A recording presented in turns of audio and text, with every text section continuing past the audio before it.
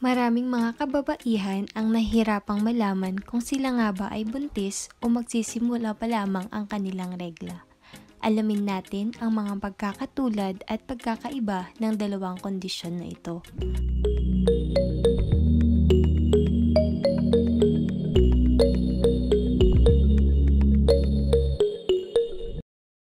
Narito ang mga pagkakatulad sa pagitan ng papalapit na period o regla kumpara sa mga sintomas at palatandaan ng pagbubuntis. Una, headache. Ang sakit ng ulo ay maaring sintomas ng pagbubuntis, ngunit marami ding mga kababaihan ang nakakaranas ng sakit ng ulo o migraines bago ang regla.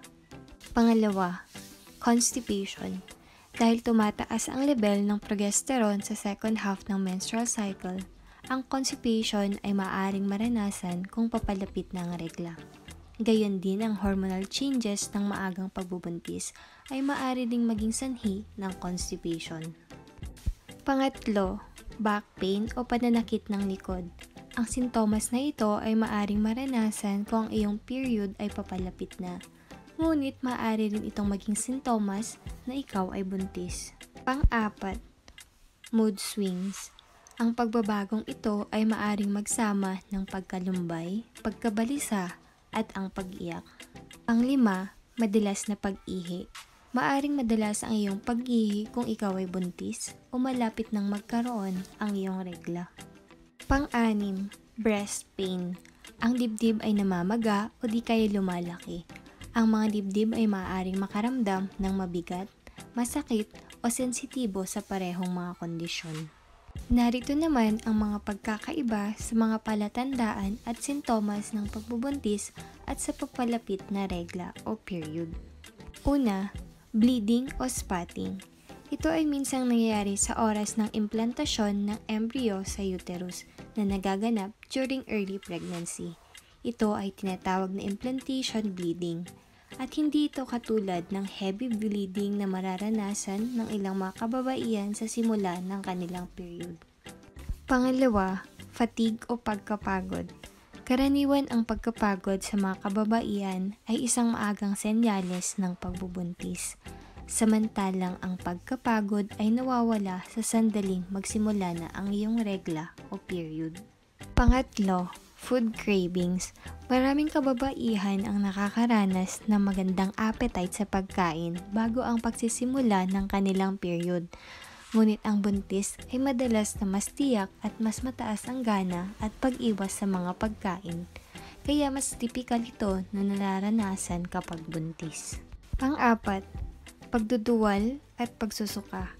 Ang pagduduwal at pagsusuka ay mas tipikal during early pregnancy at hindi ito karaniwang sintomas kapag papalapit na ang regla. Sa mga katuwid, kung ikaw ay buntis, mas lamang na mararanasan ang mga sintomas na ito. Panglima, pangingitim ng nipple. Ang pangingitim o paglaki ng areola o nipple ay maaring mangyari ng isang linggo o dalawa pagkatapos ng paglilihi. Maaari rin itong maging maagang senyales ng pagbubuntis at hindi ito isang tanda ng papalapit na regla. Narito naman ang mga natatanging sintomas at palatandaan sa pagbubuntis. Una, missed period. Ang kawalan ng regla ay isang natatanging palatandaan ng sintomas ng pagbubuntis. Pangalawa, pangingitim ng nipple. Maari itong maging maagang senyales ng pagbubuntis at hindi ito isang tanda ng papalapit na regla. Pangatlo, vaginal discharge. Ang pagtaas ng produksyon ng estrogen sa pagbubuntis ay maaring humantong sa isang pagtaas ng produksyon ng milky o white na vaginal discharge.